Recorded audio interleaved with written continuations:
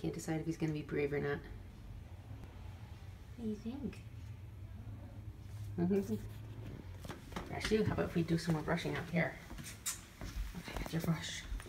I got the brush. Here, good boy. Rainy, miserable day here today.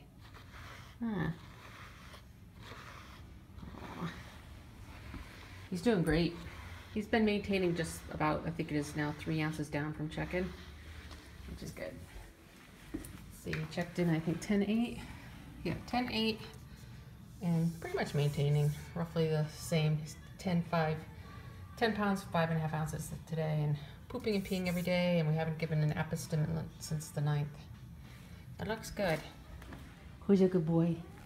Who's a good boy? Is that you? Come here. You're a good boy. Yes you are. Kitty meow